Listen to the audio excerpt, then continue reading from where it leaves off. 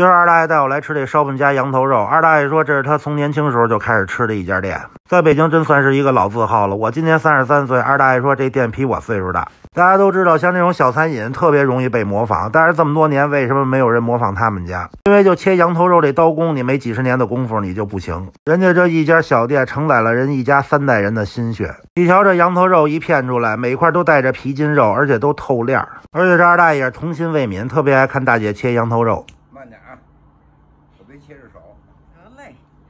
这白水羊头一上来，马上给它撒上椒盐儿，而且卖的也实惠，这么一盘怎么也得有四两，才卖三十八。来一个刚出锅一掰就掉渣的芝麻烧饼，把羊头肉给它塞满，再配碗羊汤。二大爷说这叫经典老三样。这他们家羊汤真得说一下，现在好多地儿喝完羊汤，你是不是觉得发渴？